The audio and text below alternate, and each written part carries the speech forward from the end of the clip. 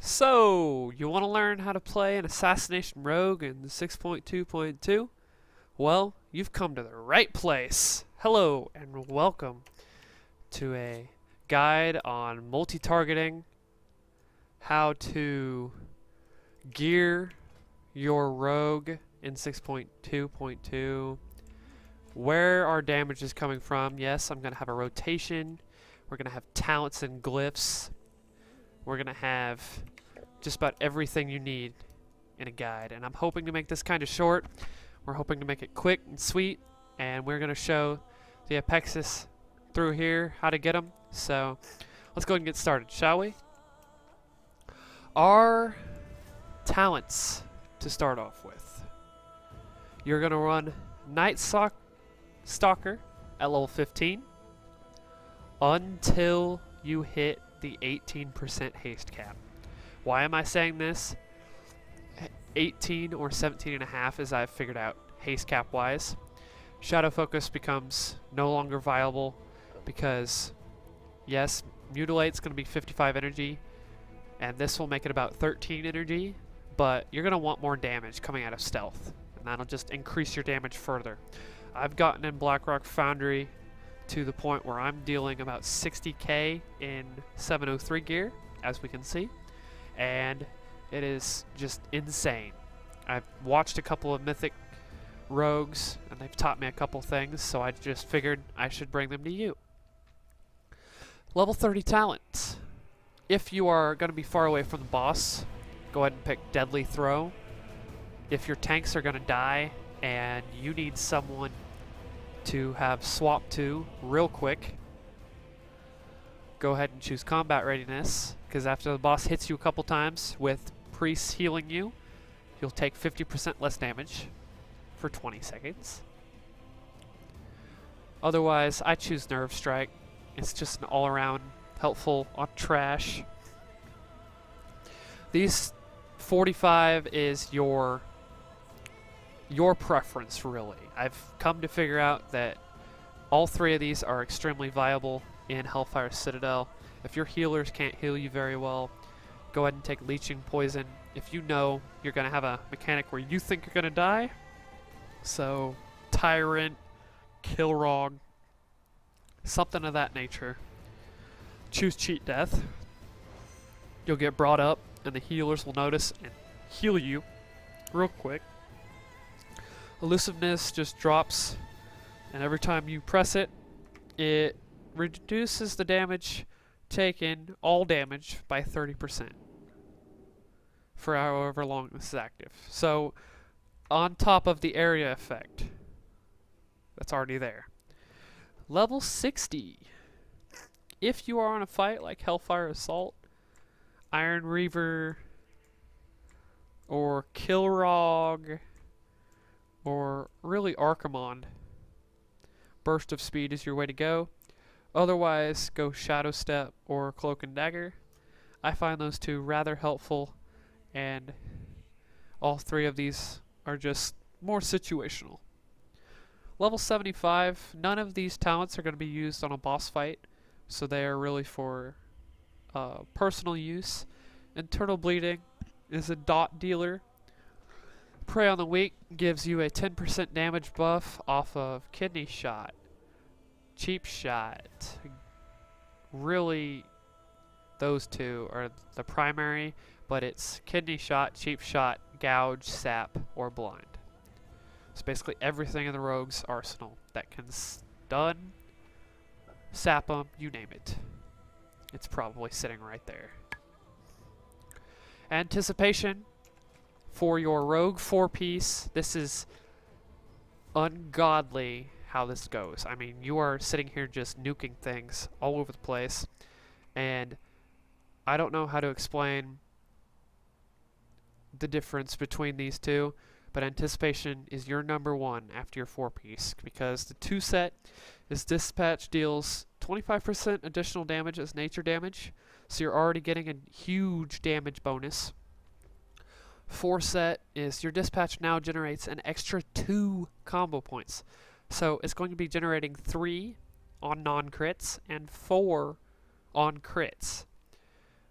basically saying mark for death, you're going to be wasting combo points because let's say you have three, you dispatch, you're going to be at like five, six, maybe seven, and you're just wasting your damage. You're wasting more damage. Shadow Reflection is your thing to use on level 100. These two you throw away. I mean, I really wanted Death from Above, even after they buffed it, to be liable, but it is not liable at all for bursting, and Shadow Reflection is just a mimicking thing to do. What you're going to want for glyphs here is Glyph of Energy. Your energy is increased by 20%, or not by 20%, hey I wish, ha, by 20 and you're going to have 140 energy with our daggers. Because we're an assassination, you're going to have 140. You're going to want Glyph of Disappearance, which reduces the cooldown on our Vanish by one minute. But you cannot activate, like it doesn't automatically activate Stealth. And you are going to want Glyph of Recuperate if your healers cannot heal you, or Vendetta if they can. I personally use both of those in all the fights I go into. The majority of these are just situational when I'm soloing things in Tanaan. Our rotation here. So let me go ahead and fly over to our lovely training dummies, the Raiders training dummy and the two dungeon training dummies. What do you want for poisons? Well, let's say our healers know how to heal us. I'm going to go ahead and use elusiveness and pick out deadly poison and crippling poison. Wound poison is PvP, so that's obviously rather helpful.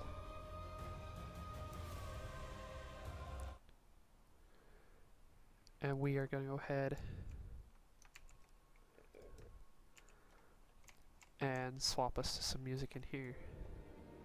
Alright, so to open up Cloak and Dagger, you're not ever using ambush, but I use Cloak and Dagger on some fights just to move with ambush. That's the only time I'm using it. So let's say the boss fight is up, you're going to use a Greater Draenic Agility Flask. Go behind the boss, and our timer is up here. Let me go ahead and throw one up here. Clock, stopwatch. And boss pull in 10. So 9, 8, 7, 6, 5, 4, 3, pre-pot, 1, go. Mutilate till 5 or 10 combo points. Proc that macro I'm going to be putting in the description and use the shadow reflection until it hits 10%. Within that shadow reflection, you're going to be wanting to deal as much combo point wise as possible. Hit a rupture up and then switch. Hit a rupture up on that target at 5 combo points and switch. On the third one, switch back to your primary target and you're just going to want to constantly rotate everything in here. The Vanish is used to proc Envenom, and when Dispatch comes up, it is just an overall damage boost. So what what do we do single target? Well, let me get out of combat range here. What are we going to go ahead and do single target? So as you can tell, multi-target, I was pulling about 56k on the three training dummies. What are we going to go and do single target? So, Raiders training dummy, this is our boss. You are going to open up with Mutilates until 5 combo points. Pop up a Rupture. Use Envenom back up to 5 combo points. I use Envenom as just an overall damage boost. And if you have dispatch proc like that, you need to use it within the Envenom to do more damage. Because when your Envenom procs up like that, dispatch and mutilate are doing a little bit more damage. And we proc our macro in the description when you have 10 combo points because you're going to want to use as much combo points as possible. Pop the ring if you have it. Use Vanish to prop more mutilates. And that's pretty much the end of a boss fight. You just want to rinse and repeat that rotation. So, what are talents? Like, where do we get this, talent-wise? And, like, due to the talents, our stat priority is Mastery, Crit, Multi-Strike, Haste. After 705, like, because I've got 705 item level, but 703 equipped, I'm going Haste, multi-strike mastery crit and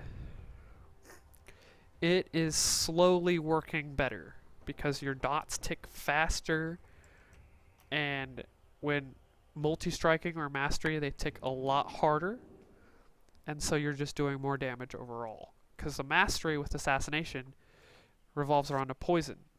The poisons deal more damage depending on your mastery so, what do you want on gear here in Hellfire Citadel? Mastery, multi-strike, critical strike, haste. Anything else, throw away. The only reason I have avoidance is because the chess piece I rolled a Warforge and avoidance, and that gave me 7% off of 185 avoidance. It's insane what stats can do. If you got a couple daggers here, and one's a higher item level than the other one, go ahead and use the higher item level one in your main hand, and the lower item level one in your offhand. Deals more damage. You're dealing more damage, and everybody's happy. Use the Apexis empowered fragment when you get enough. I don't have enough here, but that's really helpful for your alts because it can bind to your Battle.net account now. And you can send it to alts that don't have, say, this gear and help them level. This has been a guide on how to play your rogue.